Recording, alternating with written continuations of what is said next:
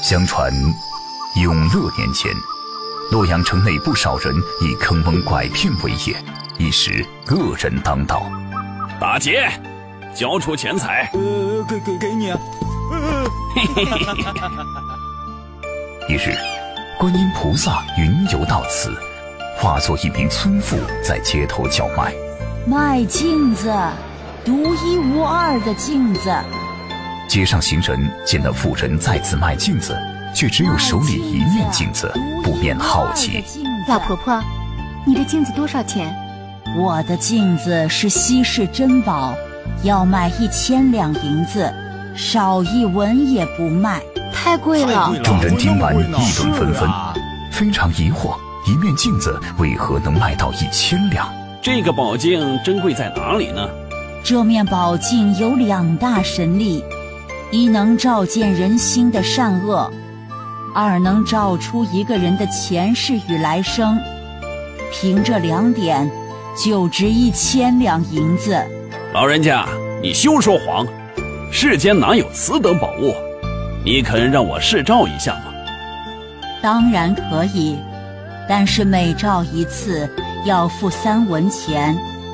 照宝镜时一定要聚精会神。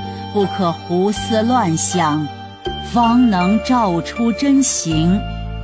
那人对着镜子专注地照了起来，大约半炷香的功夫，他果真从镜中看见了自己以前的所作所为。他看见自己死后坠入畜生道，来生投胎为一只母狗。看完后，他非常惊骇：三文钱照一次这宝镜，值得吗？